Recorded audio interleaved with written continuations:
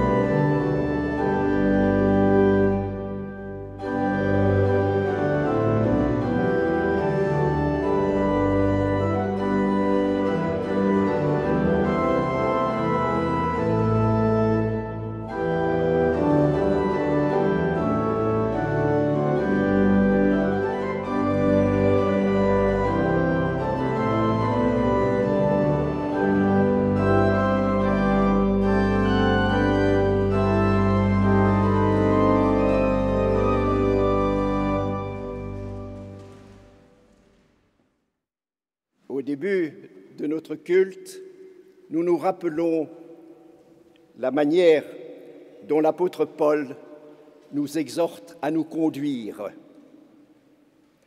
Autrefois, vous étiez ténèbres, maintenant, vous êtes lumière dans le Seigneur. Marchez comme des enfants de lumière. Vivez entre vous en bonne intelligence, en ayant un même amour, un seul cœur, une seule âme. N'agissez jamais par esprit de parti ou par vaine gloire, mais que l'un ou l'une, en toute humilité, regarde l'autre comme lui étant supérieur, et que chacun et chacune, au lieu de songer à son propre intérêt, songe à celui des autres. Ayez les sentiments qui animaient Jésus-Christ. Amen. Je vous invite à la prière. Dieu Tout-Puissant, tu ne tiens pas le coupable pour innocent, mais tu fais grâce à celles et ceux qui se repentent. Nous reconnaissons que souvent nous ne sommes pas dignes de t'invoquer comme notre Père. Nous savons que nous t'offensons par notre ingratitude à l'égard de tes bienfaits, par notre résistance à tes appels et par le fait que nous ne suivons pas tes commandements. Mais Seigneur, nous venons à toi appuyés sur les promesses de l'Évangile, plaçant toute notre confiance dans l'amour du Sauveur. Nous recourons à ta seule grâce et nous te supplions de nous donner encore et toujours ton pardon miséricordieux. Par la puissance de ton esprit, délivre-nous de tout ce qui nous empêche d'aller vers toi et vers notre prochain, et permets que par une vie renouvelée, nous rendions un bon témoignage devant les hommes et les femmes de notre temps à l'évangile de ta grâce, et que nous possédions la paix qui ne trompe pas en Jésus-Christ notre Seigneur. Ainsi soit-il. Nous poursuivons cette prière en chantant au numéro 96.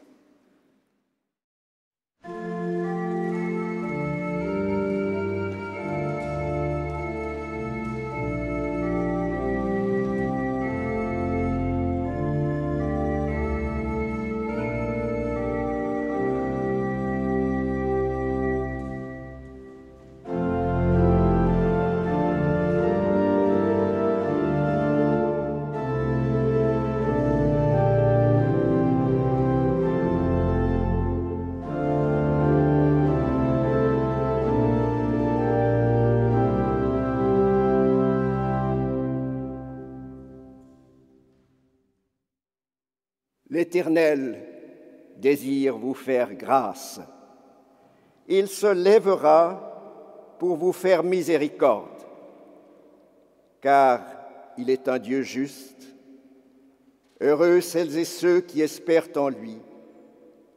Ainsi parle notre Seigneur, parce que ton cœur a été touché et que tu as pleuré devant moi, moi aussi je t'ai exaucé.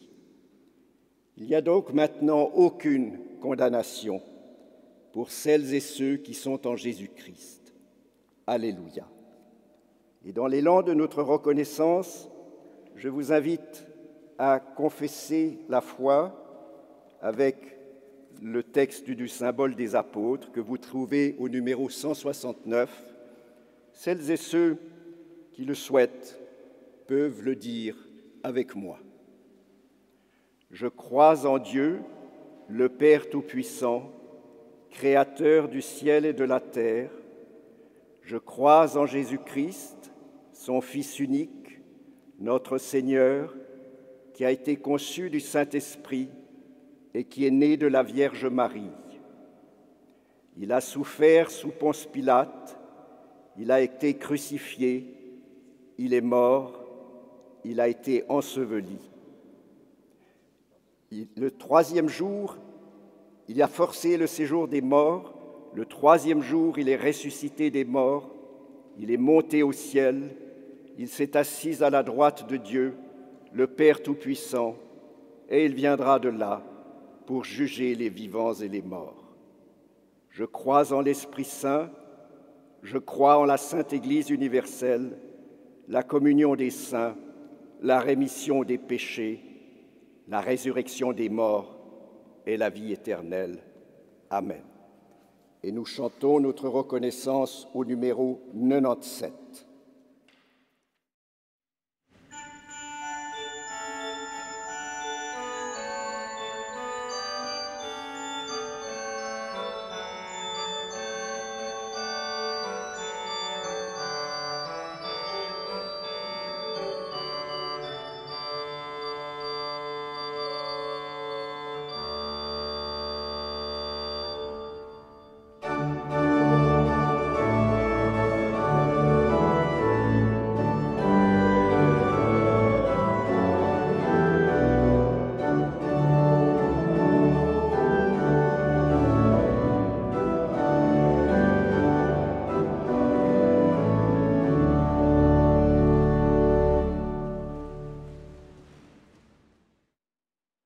Nous allons ouvrir l'écriture et auparavant, nous allons demander à l'Esprit Saint de nous éclairer.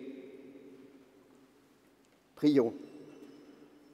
Seigneur qui nous instruis par tes écritures, puisque nous allons aujourd'hui les lire et les méditer, éclaire nos esprits, purifie nos cœurs, afin que nous puissions comprendre et recevoir, comme nous le devons, les choses qui nous y sont révélées.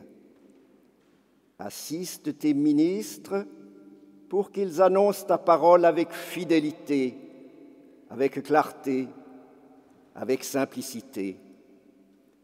Rends leur prédication efficace par la vertu de ton Saint-Esprit et que cette semence soit reçue dans nos cœurs comme dans une terre bien préparée, qu'elle y produise des fruits abondants pour ta gloire, pour notre salut et pour la construction de ton Église. Par Jésus-Christ notre Sauveur. Amen.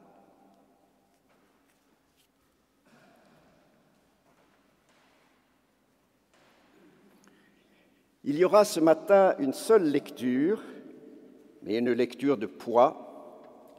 C'est la parabole qui se trouve dans l'évangile de Luc au chapitre 15 dès les versets 11 et 12. Vous allez la reconnaître. Vous la connaissez depuis l'école du dimanche, pour celles et ceux qui l'ont fréquentée. Jésus dit encore, un homme avait deux fils. Le plus jeune dit à son père, Mon père, donne-moi la part de notre fortune qui doit me revenir. Alors, le père partagea ses biens entre ses deux fils. Peu de jours après, le plus jeune fils vendit sa part de la propriété et partit avec son argent pour un pays éloigné. Là, il vécut dans le désordre et dissipa ainsi sa fortune.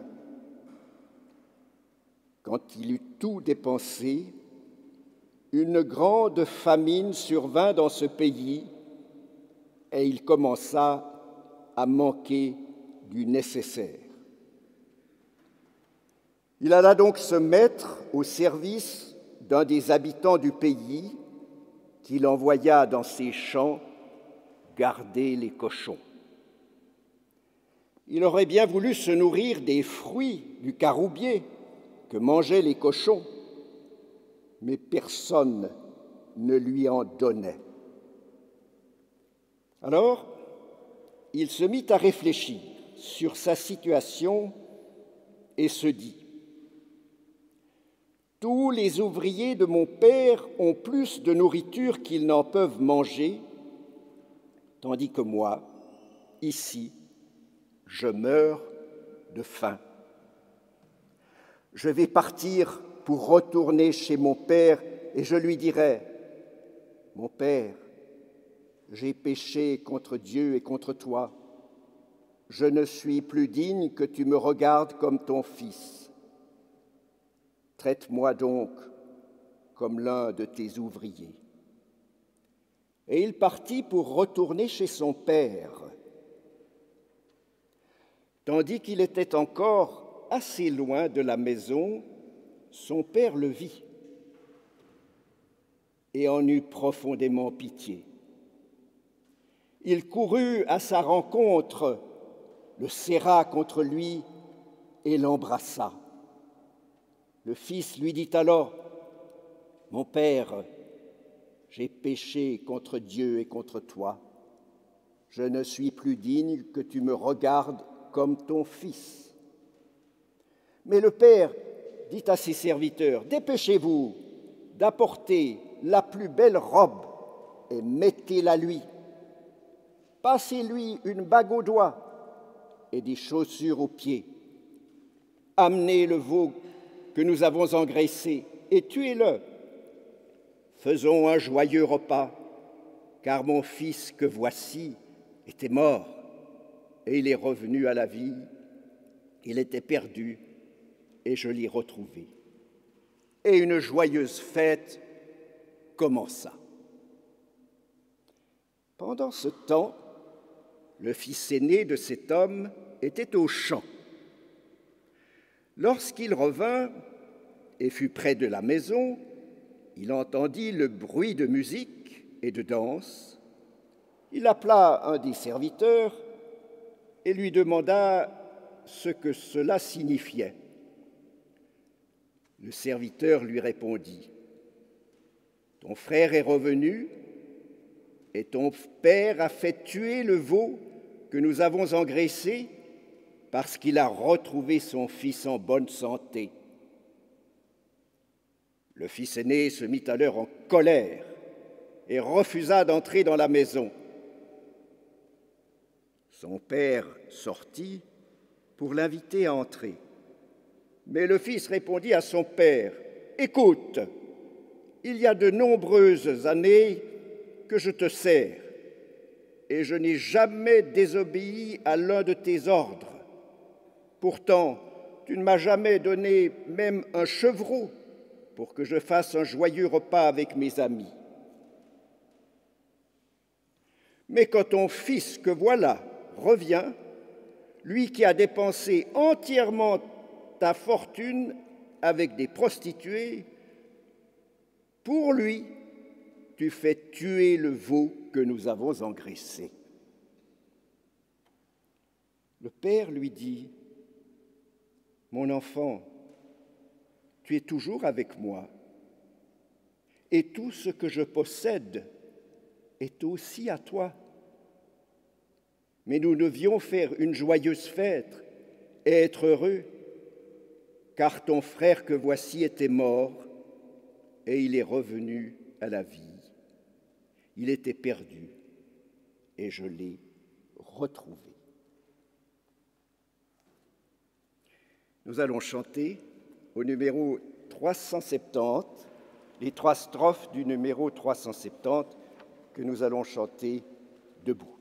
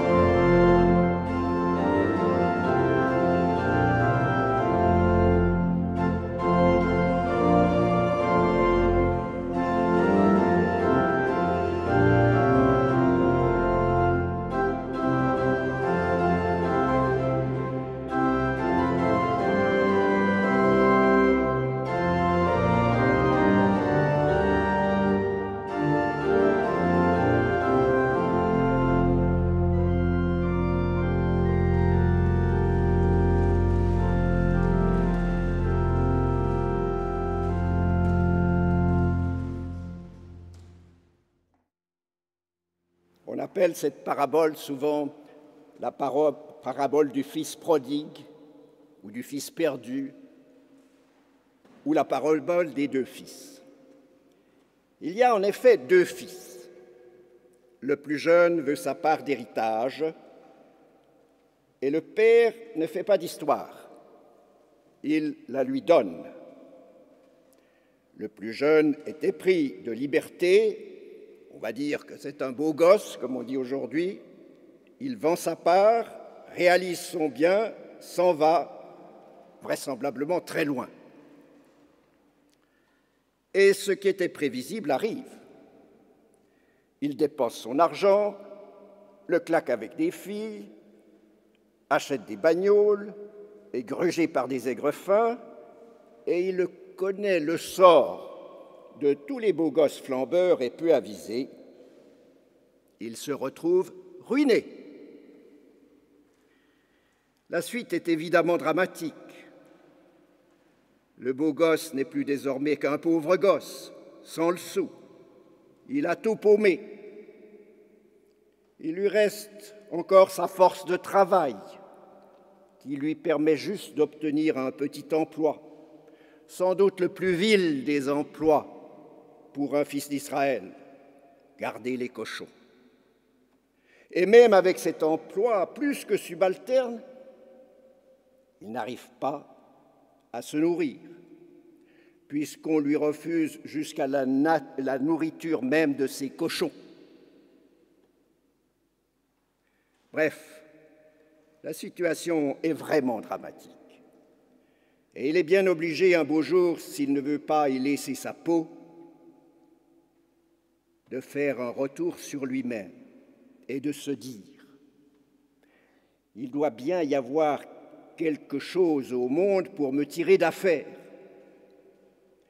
Il y a sans doute pour moi une autre vie que l'actuelle qui me conduit directement à la mort. Et il se dit alors, j'ai mal agi, il culpabilise, j'ai mal agi contre mon père, je n'aurais pas dû demander mon héritage,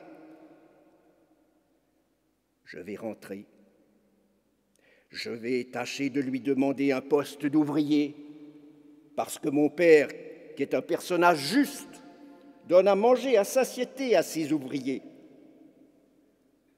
Peut-être sera-t-il d'accord de m'engager Et comme ça, je survivrai. Lui qui s'était dit en quittant sa famille, Ah, je vais faire beaucoup mieux que mon père, je vais me lancer dans les affaires. Le voilà honteux, coupable. Et il ressasse le discours qu'il va tenir à son père pour obtenir au moins une pitance pour obtenir une botte de paille, pour aller dormir dans une grange. Bref, on l'imagine les tripes nouées à l'idée de comparaître devant son père. Et voilà ce qui aurait dû se passer.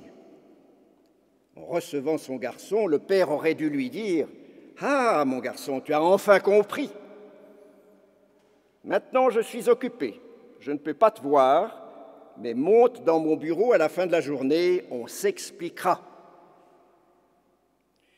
Et à la fin de la journée, il lui aurait dit, écoute mon petit, tu as eu ta part, maintenant je n'ai plus rien pour toi, mais enfin, les liens du sang étant ce qu'ils sont, je vais te donner un petit quelque chose. Je ne sais pas si je vais te prendre définitivement à mon service, pour le moment, je te mets à l'épreuve. Tu sais où sont les outils, tu sais où sont les champs, va bosser et que je n'entende pas parler de toi. Après ce qui s'est passé, tu n'as qu'à filer doux. Voilà ce qui aurait pu et vraiment dû se passer.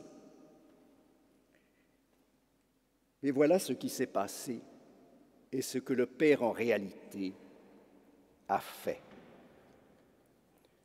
Quand il voit dans le lointain du chemin, sans doute à 200 ou 300 mètres, ce garçon, ce beau gosse devenu un pauvre air, il s'écrie, mais c'est lui, c'est lui. Il se précipite vers lui, le prend dans ses bras et lui dit, chérie, tu es là, je te retrouve. Et il le presse contre lui, et le pauvre gosse qui voulait faire son petit discours, demander pardon, n'en a presque pas le temps. Son père le serre contre sa poitrine et donne des ordres. Allez chercher la robe, la belle robe. Donnez-moi un anneau, donnez-moi des sandales. Je vais l'habiller. Je vais lui mettre cet anneau au doigt, ces sandales aux pieds. Car bien entendu, le pauvre gosse était en haillons et pieds nus. Or, ces trois éléments, cette robe, cet anneau, ces souliers, ce sont par excellence dans la Palestine du début de notre ère ce que l'on donne aux hôtes de marque.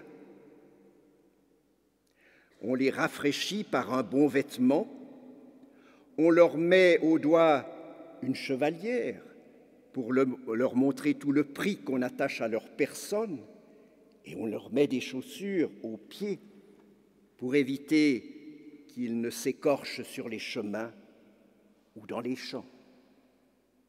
Ces trois éléments sont le signe que ce fils, ce pauvre gosse, se voit restituer de manière magnifique une place dans la maison. Il y a quelque chose de saisissant dans cet accueil. Pas un instant le père s'est dit Ah ah, il m'a maltraité, il va voir ce qu'il va voir. Au contraire, sa joie, c'est d'avoir retrouvé cet enfant qu'il croyait définitivement perdu. Sa joie et sa générosité, c'est de lui faire du bien. Aussi complète-t-il ses ordres en ajoutant Tuez le veau gras, on va faire la fête. Celui qui était perdu est revenu, il est là. On se réjouit. Frères et sœurs, cet accueil extraordinaire, c'est bien entendu l'accueil que Dieu nous réserve. Jésus parle en parabole pour mieux nous faire comprendre qui est Dieu. Dieu est un Père qui nous prend dans ses bras. Et comment ce Dieu agit-il avec nous? En nous donnant tout et en nous le donnant dans la joie. Dieu n'est pas le grand barbu sévère, c'est le Père qui ouvre ses bras, qui nous étreint, qui ne nous laisse même pas le temps de lui dire toute notre culpabilité. Il la connaît très bien, cette culpabilité, et c'est si bien, il sait si bien que nous en souffrons. Ce qu'il veut, c'est nous combler, c'est nous remettre sur pied, nous fêter, et ce qui l'enchante, c'est que nous soyons dans la joie, c'est que nous reconnaissions cette joie qui est la sienne, puisqu'il nous a retrouvés. Il y a une ambiance de fête joyeuse dans cette parabole. Dieu ne demande pas de compte. Désormais, seule la grâce compte, pas les explications. Mais l'histoire ne s'achève pas là. Il y a l'autre fils. J'ai de la compréhension pour cet autre fils, de la tendresse même, comme Dieu lui-même en a.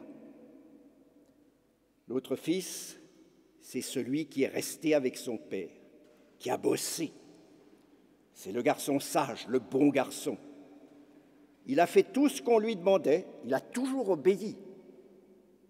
Il s'est appliqué, ce fils aîné, il nous ressemble beaucoup, car parmi nous, il n'y en a sans doute pas beaucoup qui ont été des beaux gosses et qui se sont mal conduits. Mais il y en a certainement beaucoup qui ont été bons garçons et bonnes filles, qui ont voulu leur vie durant obéir à leur vocation, à ce que Dieu demande. Et tout en coup, ils ont un haut le cœur en se disant, moi qui ai tout fait bien, moi qui ai été bon garçon, bonne fille, je constate que l'on tue le veau gras pour se réjouir du retour de ce garçon qui s'est vraiment mal conduit. Il y a une injustice. Je ne suis pas d'accord. Je suis fâché. La réponse du Père, de Dieu, elle est superbe. Il lui dit, il nous dit, écoute mon garçon, mon bon garçon, tu ne t'es pas rendu compte que tout ce qui est à moi est à toi. Tu me dis que je ne t'ai même pas donné un petit chevreau pour aller faire la fête avec tes amis, mais pourquoi ne l'as-tu pas pris? Il était à toi ce petit chevreau. Cette grâce immense que Dieu déverse sur celles et ceux qui viennent à lui parce qu'ils sont mal, parce qu'ils se sentent coupables, cette grâce inextinguible, elle est aussi pour elles et eux les bonnes filles, les bons garçons. Il suffit de prendre un chevreau et le Père sera ravi, car sa grâce nous est aussi destinée, à nous, bons garçons, bonnes filles. Le Père, le Père céleste, est plus qu'assez riche pour donner tout ce qu'il faut à celui qui revient, aux pauvres gosses, comme à tous ceux et toutes celles qui ne sont pas partis, qui font bien. Il a autant de veaux gras qu'il en faut pour chacun et chacune d'entre nous, enfants sages ou pauvres gosses. Toute la grâce de Dieu est à disposition pour les uns comme les autres. Vous le savez fort bien, dans nos vies, nous, nous avons des moments où nous nous sentons tellement mal, où nous nous sentons tellement pauvres gosses, que nous avons grand besoin d'être pris dans les bras d'un Dieu qui nous dit chéri. Et puis il y a des moments où nous sommes bons garçons ou bonnes filles, et dans ces moments-là, il faut aussi aller vers Dieu, ce Dieu dont nous avons peut-être le sentiment qu'il ne s'occupe pas assez de nous, à cause des soucis que lui causent les pauvres gosses. Il faut aller vers lui. Il faut lui dire, embrasse-moi, moi aussi. Je suis bon garçon, je suis bonne fille. Et Dieu nous embrassera. Et Dieu nous donnera un veau gras, une bonne robe, un bel anneau, de bonnes sandales, car tout ce qui est à lui est à nous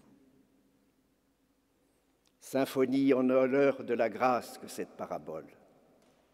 Chant qui marque le triomphe de la grâce de Dieu, d'un Dieu qui est vraiment le Dieu de la grâce, qui ouvre vraiment ses bras, qui souhaite que nous nous y précipitions, qui s'avance vers nous pour que nous voyions ses bras ouverts, son sourire glorieux, sa joie de nous voir revenir à lui et lui dire en toute confiance, Père, Père de toute grâce. Amen.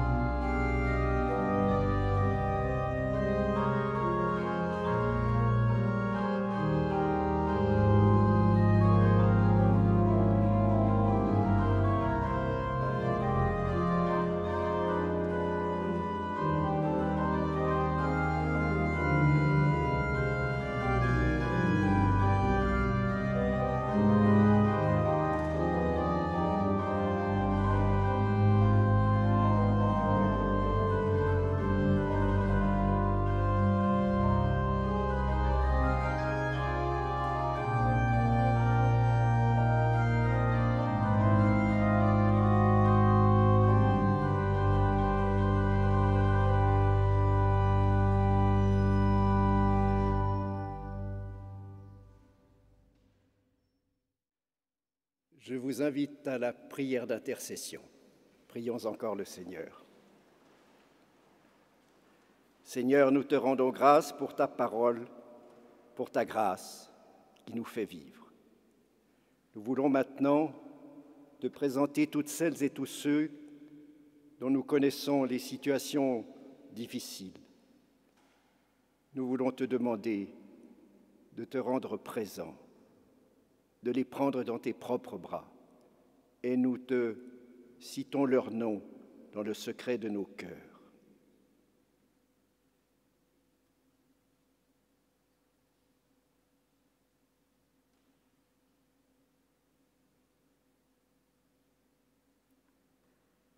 Seigneur, souviens-toi de celles et ceux que nous t'avons nommés.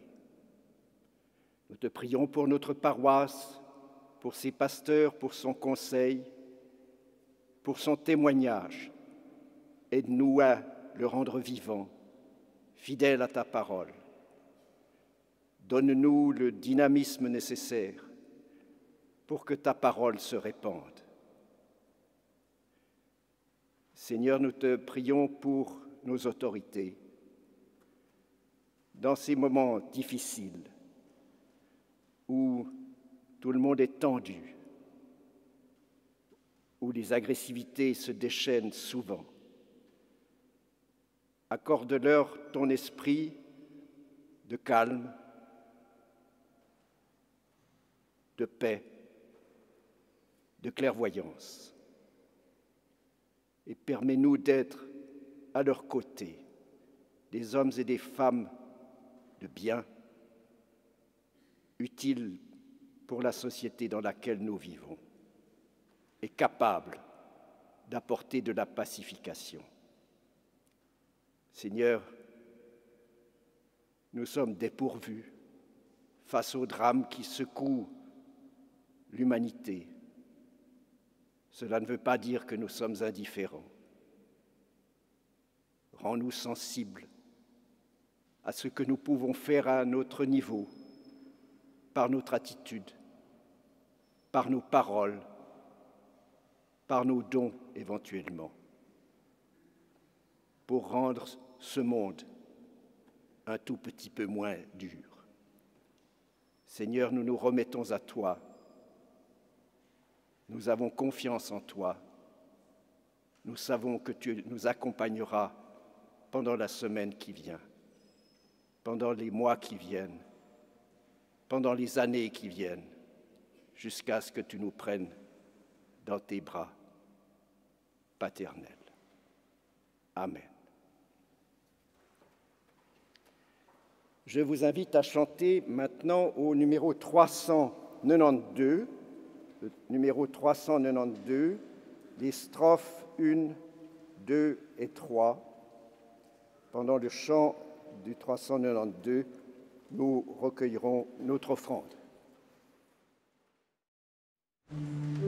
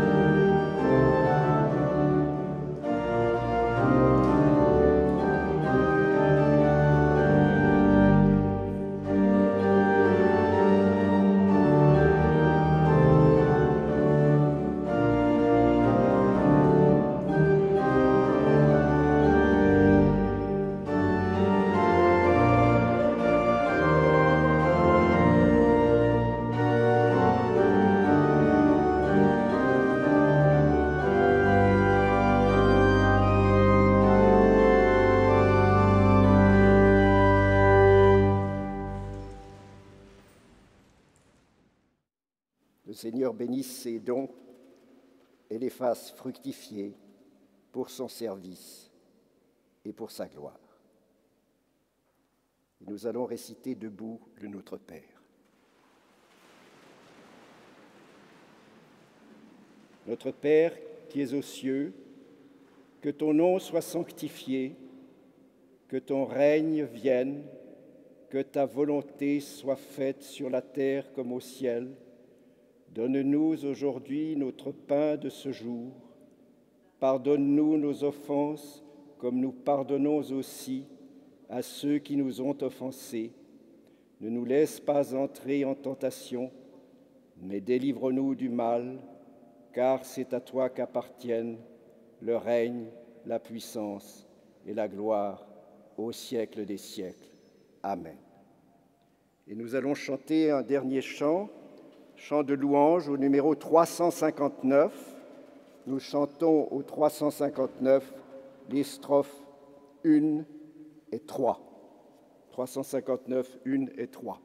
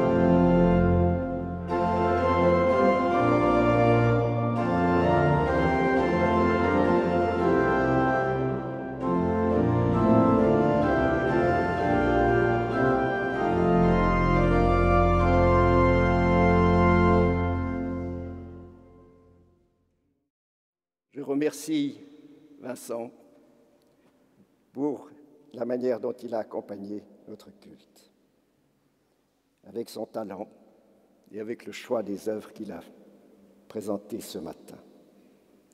Je vous invite à recevoir la bénédiction. Que l'Éternel vous bénisse et vous garde, que l'Éternel fasse resplendir sur vous sa face et vous soit propice que l'Éternel tourne vers vous son visage et vous accorde sa paix, à vous et à vos familles, dès maintenant et à jamais. Amen.